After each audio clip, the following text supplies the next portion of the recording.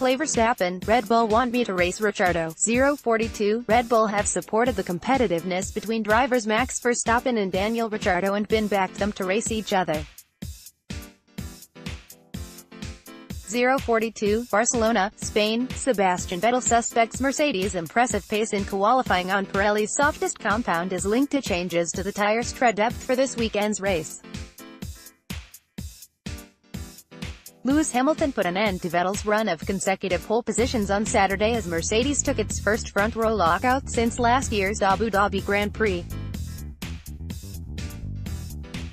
The return to form came at one of the most aero-sensitive circuits on the calendar, but also after Pirelli reduced the thickness of the tread by 0.4 mm on its tires to combat overheating.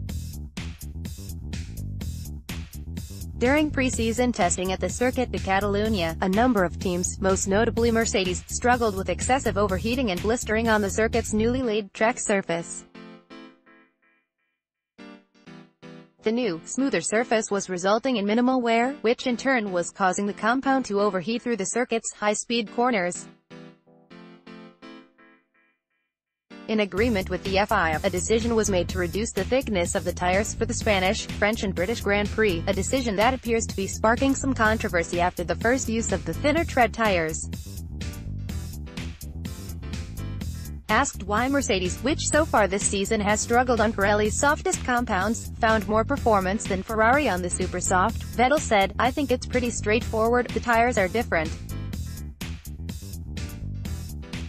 Different for everyone so everyone needs to cope with that. I think it was exceptional that Mercedes was struggling in the last events as much as they were but thinner thread. Basically the tires are harder so we still have the same tires if you look at the colors but they're harder than there used to be. As I said, it's the same for all of us. Sebastian Vettel has never claimed pole position at the Circuit de Catalunya in his Formula One career. Dan Istitene, Getty Images after making a mistake in the first corner on his first Q3 run on the super soft, Vettel switched to the soft compound for his second run and improved his lap time with a much cleaner lap.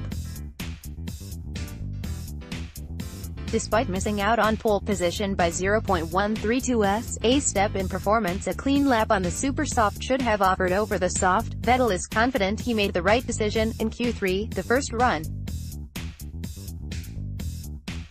I locked up a little bit into turn 1 so the first sector was already slow and I tried to get back and recover, but to really fight for pole it was not enough, he said.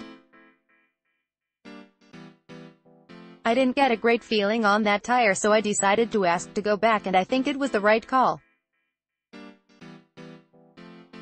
We were very quick, I think overall, the tires this weekend are different.